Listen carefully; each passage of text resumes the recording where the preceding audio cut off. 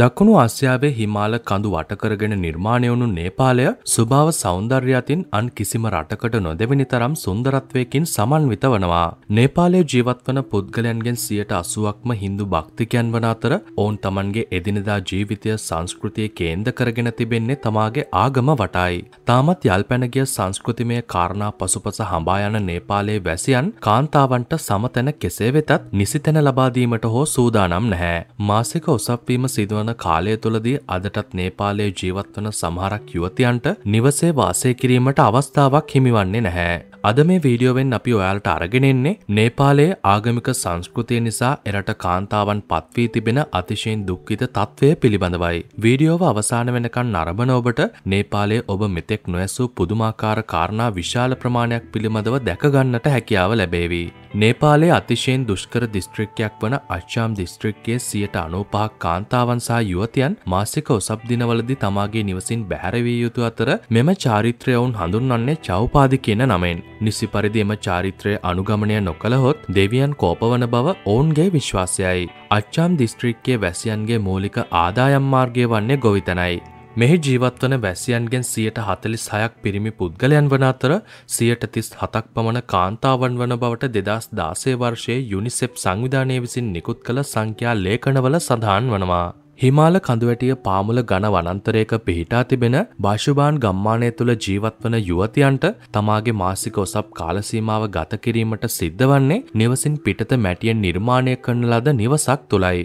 ඔසප්පන යුවතියක් මුණගැසීම හෝ සමීපව ඇසුරු කිරීම අවාසනාව ගෙනේන බව ඔවුන්ගේ විශ්වාසය නිසාම ආගමට සම්බන්ධ දේවරූප පොත්පත් හෝ වෙනත් ඕනම දෙයක් ස්පර්ශ කිරීම මෙන්ම කිරිවර්ග ස්පර්ශ කිරීමත් එම කාල සීමාව තුළ තහනම් වනවා. යම් හේකින් කාන්තාවක් ඔසප් සීමාව තුළ නිවසින් පිට නොවනහොත් එම නිවසට සර්පයන් ඇතුළත් වන බවත් එය එසේ සිද්ධ වන්නේ දේව කෝපය නිසා බවත් ඔවුන් විශ්වාස කරනවා. දරුවන් සිටින මව්වරුන් මෙම කාලසීමාව තුළ මැටි නිවාසවල කාලය ගත ගත කරන්නේ තමාගේ කුඩා දරුවන්ද සමගයි. දෙදස් දා හතවර්ෂයේදි නේපාල රජය විසින් මෙම චාරිත්‍රය අනුගමනය නොකරන ලෙසට නීතියක් පැනවූ අතර ඔසප් කාලසීමාව තුළ කිසිම කාන්තාවක් නිවසින් පිටකිරීම දඩුවම් ලැබිය හැකි වරදක් බවටත් ප්‍රකාශ කරනු ලැබවා. එසේ සිදුකරන පුද්ගලයකුට රුපියල් තුන්දහසක දඩයක් සහ මාස තුනක සිරදනුවමක්ද හිමිවන බවට රජය නිවේදනයක් නිකුත් කරනු ලැබවා. කෙසේ වෙතත් මේ විදියට මේ චාරිත්‍රය උල්ලංඝනය වන විට කොටියන් ගම්මානයට පැමිණෙන බවත් ඔවුන් මිනිසුන්ගේ ගවපට්ටිවල සිටින ගවයන් මරා ආහාරයට ගන්නා බවත් ඒ නිසා එම චාරිත්‍රය අනුගමනය කිරීම අත්‍යවශ්‍ය බවත් නේපාලයේ කාන්තාවන් විශ්වාස කරනවා. බොහෝ වෙලාවට කාන්තාවන් මැටියෙන් නිර්මාණය කරන ලද නිවාස වෙනුවට භාවිතා කරන්නේ ගවයන් රඳවා තබන ගවහල්වීම කනගාටුවට කාරණාවක් වනවා.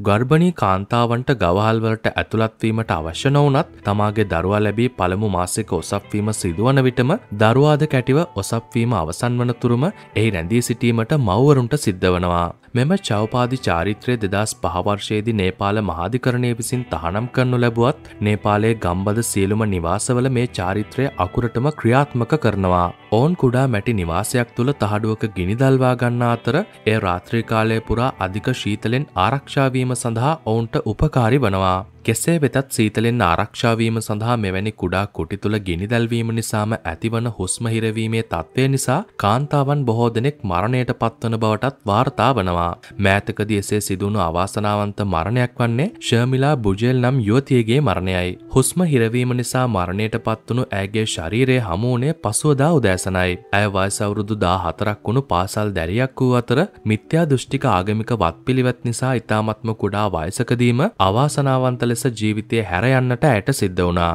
නේපාල රජය දිල්ලි රජය කත්මණ්ඩු මාධ්‍ය ඒකක මෙන්ම ඇමරිකානු මාධ්‍යත් මේ සිදුවීම පිළිබඳව දිගින් දිගටම වාර්තා කළත් තාමත් නේපාලයේ මේ විදියට අසරණ වී මරණයට පත්වන යුවතියන්ට යුක්තිය ඉටු කිරීමට සමත් වෙලා නැහැ. ඔවුන් සිදු කරන්නේ ඡායාරූප හෝ වීඩියෝ පට ලබා ගැනීම පමණක් බව එරට කාන්තාවන් නගන චෝදනාවයි. යුවතියක් හෝ කාන්තාවක් තමාගේ එදිනෙදා ජීවිතය තුළ විඳින දරුණුම වේදනාවක් වන ඔසප් කාලසීමාව තුළදී ඔවුන්ට සැබවින්ම අවශ්‍ය වන්නේ විවේකය සහ පෝෂදායී ආහාරයි. නමුත් නේපාලයේ කාන්තාවන්ට සිද්ධ වන්නේ ඒ කිසිවක් නොමැතිව නිසි ආහාරපාන හෝ නොමැතිව ගවයන් ලගින මඩුවකට වී සිටීමටයි.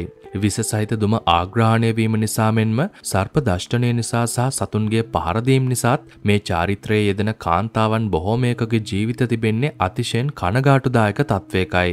නේපාල රජය සහ සුභසාධක සංගම් විශාල ප්‍රමාණයක් මේකට එරෙහිව කටයුතු කළත් ඒ වගේ ප්‍රතිඵල ලැබෙන්නේ ඉතාමත්ම සුළුවෙන් බව බොහෝ දෙනෙක් දන්න කාරණාවක්. බොහෝ ගම්බද ප්‍රදේශවල කාන්තාවන් ඔසබ් දිනවලදි භාවිතා කරන්නේ නිවසේ භාවිතා කළ ඇඳුම් සහ රෙදිපිරේ. එයට හේතුව වන්නේ මෙම අසරණ යුවතියන්ට සනීපාරක්ෂකතුවා මිලදී ගැනීමට තරම් වත්කමක් නොමැතිවීමයි. කෙසේ වෙතත් ක්‍රමයෙන් දියුණුවමින් පවතින පළාත්වල දෙමාපියන් මෙම චාරිත්‍රය තරයේම ප්‍රතික්ෂේප කරන අතර ඔසප් කාලසීමාව තුළ තම දියණියන්ට නිවසේ සිටීමට අවශ්‍ය නිදහස ලබා දී තිබෙනවා. නමුත් එහි ජීවත් වන වයසක පිරිස මෙසේ යුවතියන් මාසික ඔසප් කාලසීමාව තුළ මරණයට පත්වීම තාමත් සලකන්නේ අපිරිසිදු සහ අභාග්‍ය සම්පන්න කාරණාවක් විදිහටයි. මේ නිසා තමාගේ මව්පියන්ට අවනත විය යුතු නිසාම තමාගේ තරුණ දැරියන් ගවහල්වලට පිටත් කරන දෙමාපියන් විශාල ප්‍රමාණයක් නේපාලය තුළ දකින්නට ලැබෙනවා. කෙසේ වෙතත් කිසිම තරුණයක් හෝ කාන්තාවක් මේ වගේ අන්ධභක්තික ඇදහිල නිසා මෙසේ වේදනා විඳීම දියුණු ලෝකයේ විසින් තරයේ ප්‍රතික්ෂේප කරන කාරණාවක් වනවා. නේපාලයේ වෙසෙන කාන්තාවන්ට තමාගේ එදිනෙදා ජීවිතයේ අසීරුම දවස් සුවසේ ගෙවා දැමීමට හැකිවන්නේ කවදාද යන්න තාමත් පිළිතුරු නොලැබුණු පැනයයි. ඉතින් මේ ගැන ඔයාගේ අදහස මොකක්ද? ඒ ගැන අනිවාර්යෙන්ම පහලින් කමෙන්ට් එකක් දාන්න අමතක කරන්න එපා. අපි මේ වගේම අලුත්ම වීඩියෝවකින් හම්බෙන බලාපොරොත්තුවෙන් අදට සමු අරගෙන යන්නට තමයි සූදානම් වෙන්නේ. ඔයාලා තාමත් අපේ channel එක subscribe කරලා නැත්නම් අනිවාර්යෙන්ම පහලින් තියෙන රතු පාට බටන් එක ඔබලා subscribe කරන්න.